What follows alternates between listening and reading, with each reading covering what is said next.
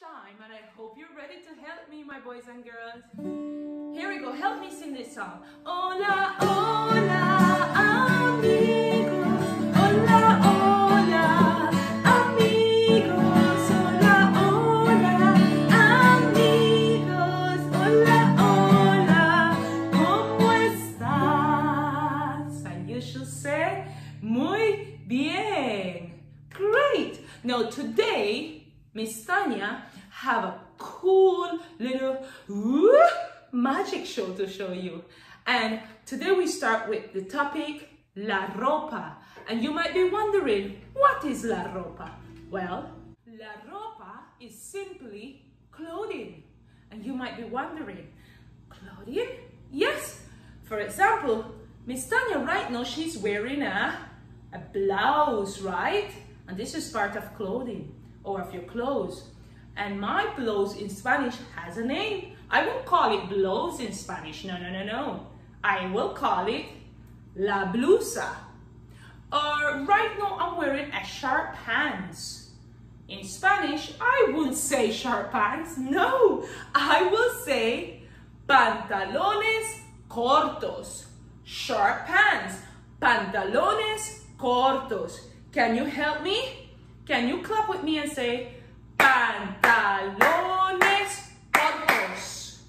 Pantalones cortos. That's a little bit of, of a long word. Actually, it's a combination of two words. Pantalones cortos, which means short pants.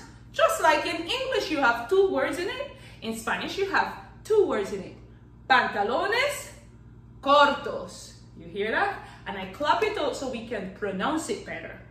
Now, are you ready for this magic show? Because first one I gave was blusa, right? And then I told you I'm wearing pantalones corto. But the magic show, you have to help me. You have to count till three in Spanish. And then something will happen. I'm not to tell you because I want you to see what happened. Oh, guess what happened? Are you ready? So help me. Uno, dos, tres. What happened? Am I wearing pantalones cortos or blusa? No, I'm wearing a vestido. The magic happened and I changed into a different clothing, a different ropa. And now I'm wearing a vestido, a dress. Can you say vestido? Vestido. Mm-hmm. Good job. No, let's see what else the magic show will bring to us. You ready? Help me. Uno, dos, tres. Shut No, I'm wearing a camiseta, a t-shirt. And as you can see, a camiseta has no collar, it's just a round neck and it has no button. That's what makes it a camiseta, a t-shirt. Look at me, and I'm wearing it with pantalones cortos. Shadan! La camiseta, camiseta. All right? Wait, something similar we call shirt. Very similar to camiseta.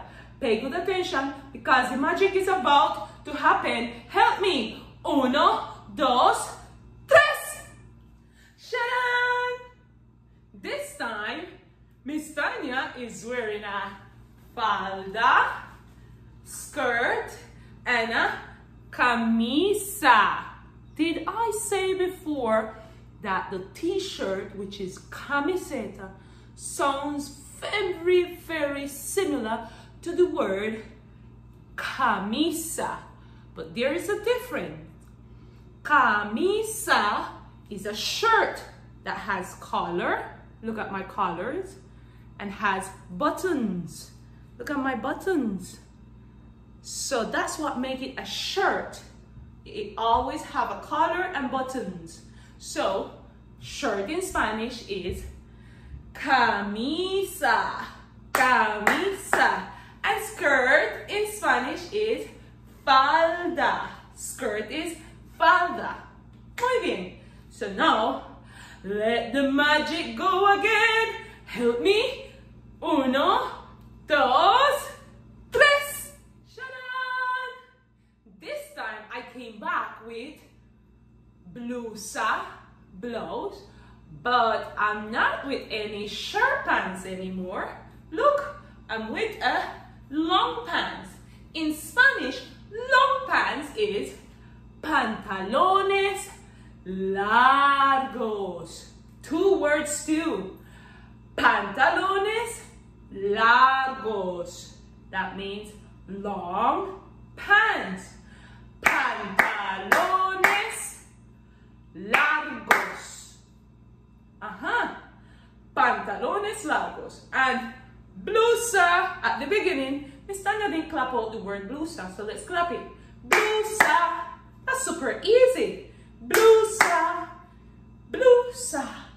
Only two clappings. But I know pantalones largos, long pants, is a long word. And pantalones cortos, short pants, is a long word too because farm have two words.